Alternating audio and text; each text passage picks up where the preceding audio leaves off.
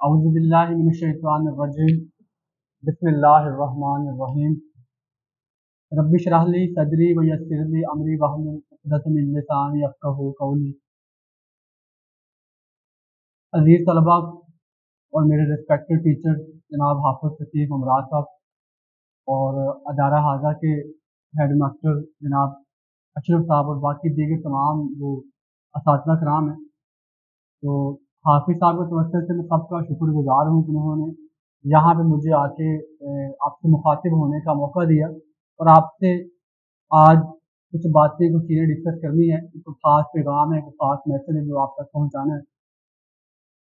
इससे पहले मैं अपना तारीफ़ कराऊँ तो मेरा नाम सुहेल मुर्तज़ा है और बेटा सोशल मीडिया पे लोग मुझे मूड जट के नाम से जानते हैं। मैं इस टाइम वी फोटाबाद में एज ए कंप्यूटर इंस्ट्रक्टर बच्चों को ट्रेनिंग दे रहा हूँ, पढ़ा रहा हूँ। उसके साथ साथ हमने एक नया इनिशिएटिव लिया है, कोटाबास में Scope Institute of Professional Studies के नाम से एक नया इदारा हमने वहाँ पे ओपन किया है कंप्यूटर के शॉर्ट कोर्सेज के लिए।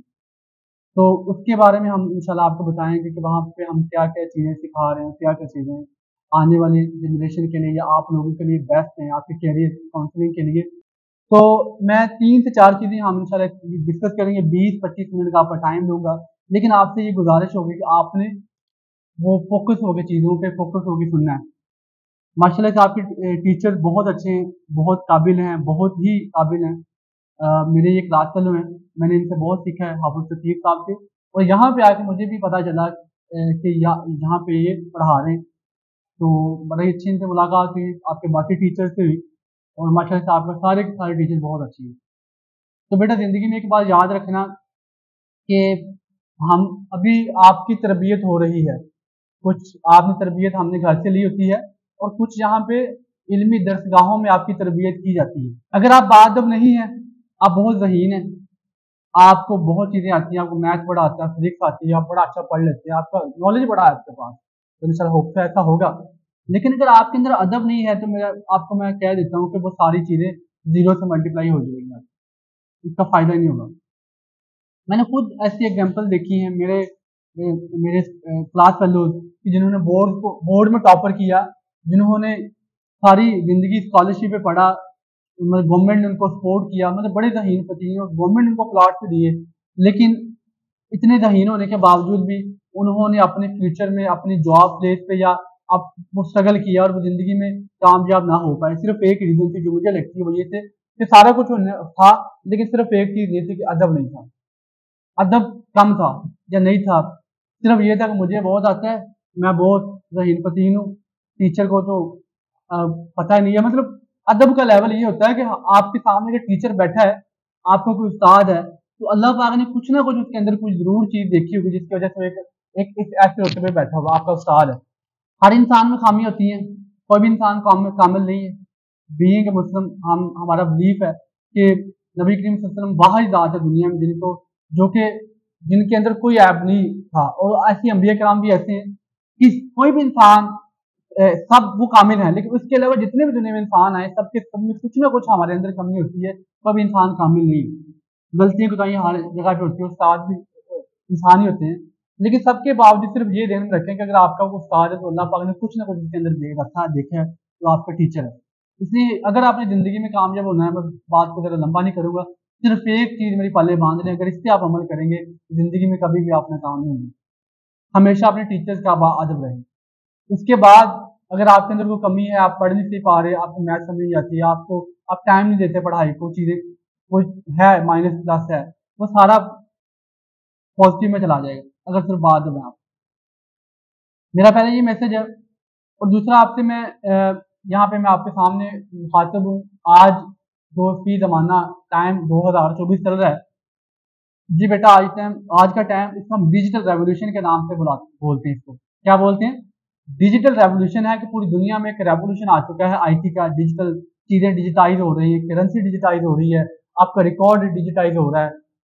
हर जगह पर कंप्यूटर आ चुका है और आपके सामने मोबाइल फ़ोन हर घर में मौजूद है। और इसी डिजिटल डिजिटल रेवोल्यूशन के चलते इसी के साथ जिन लोगों ने अपने आप को अडेप्ट किया इस तब्दीली को एक्सेप्ट किया और इसमें शामिल हो गए, वो आगे निकल गए और जिन्होंने इसको अडेप्ट नहीं किया, जिसने जिन लोगों ने इस चीज़ को एक्सेप्ट नहीं किया तो वो आज पीछे रह चुके हैं। और ये सिर्फ़ चार से पाँच से छह सालों के अंदर हुआ है। बहुत कोई लंबा टाइम नहीं है। दुनिया में पाँच बड़े रेवोल्यूशन आए थे, जिसको हम इकोनॉमिक सेंस में बोलते हैं, एक इंडस्ट्रियल रेवोल्यूशन एक सेवनटीन एटीज में है फिर एटी फिर एक सौ साल के बाद एटी सेवनटीज में है फिर एक सौ साल के बाद नाइनटीन सेवनटीज में है उसकी डिटेल में मैं नहीं जा रहा, लेकिन मैं सिर्फ़ ये कहता हूँ फिर दो हज़ार में एक और रेवोल्यूशन आता है, जिसको हम आईटी का रेवोल्यूशन बोलते हैं और आज के रेवोल्यूशन को हम डिजिटल रेवोल्यूशन का बोलते हैं। उसमें क्या है कि वो जो, ये जो रेवोल्यूशन आया है वो हम सब के लिए, आपके लिए, आम लोगों के लिए, कि जिसमें सिर्फ़ एक स्किल सीख के दो से तीन साल पे मेहनत करने के बाद आप अपना source of income best generate कर सकते हैं, जो कि आज की सेवनटीन ग्रेड का ऑफिसर जनरेट कर रहा है। ये बात याद रखें, अगर आपके पास मोबाइल मौजूद है आपके पास इंटरनेट की एक्सेस मौजूद है तो फिर आप कहते हैं कि मेरे पास, मैं कुछ कर नहीं पा रहा, मेरे पास घर वाले सपोर्ट नहीं करते, मेरे पास पैसा नहीं है तो सारी चीज़ें गलत हैं। अगर आपके पास मोबाइल मौजूद है और आप कुछ स्किल सीख लेते हैं तो आप ज़िंदगी में आगे, आज के रेवोल्यूशन में शामिल हो सकते हैं। इसको थोड़ा सा मैं आगे लेके चलूँ। हम एवरेज एक एक रिपोर्ट है, एक रिसर्च रिपोर्ट है। इकोनॉमिक वर्ल्ड इकोनॉमिक फोरम की रिपोर्ट है कि दुनिया में आज यंग जनरेशन इस टाइम टेंशन का शिकार हो चुकी है। क्या होता है? Young generation alpha generation Gen Z जो कि हाँ आप लोग हैं। हम मतलब जिनकी एज 15 से लेके 25 तक है। ठीक है? जिनकी एज 15 से लेके 20 या 24 साल के दरमियान है, वो आज पूरी दुनिया में सबसे ज़्यादा टेंशन का, नफ्सियाती मसाइल का शिकार है।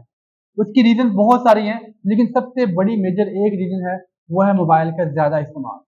स्क्रीन टाइम और ऑन एन एवरेज पाकिस्तान में एक रिपोर्ट बताती है कि ऑन एन एवरेज हर पाकिस्तानी रोज़ाना सात से आठ घंटे स्क्रीन देखता है। मोबाइल स्क्रीन देखता ऑन एन एवरेज हर पाकिस्तानी रोज़ाना छह, सात या आठ घंटे मोबाइल का इस्तेमाल करता है वो। वो क्या कर रहा है? वो फेसबुक यूज़ कर रहा है वो। व्हाट्सएप टिकटॉक ये स्नैपचैट ये जितनी भी सोशल मीडिया एप्स हैं, वो इस्तेमाल करता है। वो अपना टाइम वेस्ट कर रहा है। अगर हम सात घंटों को भी लें, छह घंटों को भी लें तो हम अगर उसको मल्टीप्लाई करें थर्टी डेज़ पे तो टोटल हम अगर डेज़ में है तो सात से आठ दिन सिर्फ़ और सिर्फ़ आप लोगों ने मोबाइल देखते हुए जाया कर दिए वेस्ट कर दिए अगर उन्हीं सात से आठ घंटों को हम पॉजिटिवली प्रोडक्टिव इस्तेमाल करें तो हमको अच्छी स्किल सीख सकते हैं। अच्छी स्किल सीखने के बाद उसको हम अपने फ्यूचर में इसको यूज़ करके अपना सोर्स ऑफ़ इनकम बना सकते हैं और लोग बना रहे हैं। और आज मेरा यहाँ पे आने का मकसद भी यही है कि आप लोग माशाल्लाह से पाकिस्तान का फ्यूचर है। और आज, आने वाले टाइम पे या आज के टाइम पे अगर आपने अपने आप को कामयाब बनाना है तो you must have soft skill आपके पास एक सॉफ्ट स्किल का होना बहुत ज़रूरी है। या कोई भी स्किल हो, ये स्किल का जमाना है। स्किल का टाइम हमने मैट्रिक करना है एफ़ भी करना है एफ़ एस सी हमने पढ़ना है। This is a conventional education हमने इसको करना है, पढ़ना। मैं कभी नहीं कह रहा आप स्कूल छोड़ दें। नहीं, ये आपकी तरबियत है। ये आपको करना है। लेकिन दूसरी तरफ़ आपने, आपको खुद को रिज़र्व करना है अपने आपको डिवोट करना है किसके लिए? एक स्किल सीखने के लिए। अगर आप वो स्किल सीखते हैं, हमने पहले भी आपके बड़े भी बताते हैं टीचर भी बताते हैं कि हमेशा हुनरमंद जो इंसान होता है, वो कभी भूखा नहीं मरता। ये तो आपने सुना ही होगा। तो आपके पास हुनर तो कभी भूखा नहीं मरे। और जितनी ज़्यादा स्किल सीखने की आज ज़रूरत है, आज से पिछले पिछले पूरे जमाने में कभी नहीं थी। कभी भी नहीं थी जितनी आज ज़रूरत बन चुकी है। हमने अपनी ज़िंदगी से, अब हम यूनिवर्सिटी से पढ़े, हम कॉलेज में पढ़े, हमने अब जॉब भी करें, इंसान सारी ज़िंदगी सीखता है। और इसी, उसी सीखने के बुनियाद पर मैं आज दावे से कहता हूँ, अगर ये बात आप पल्ले बाँध लें। आप कभी दो साल के बाद, दस साल के बाद, पाँच साल के बाद मेरी बात याद रखें।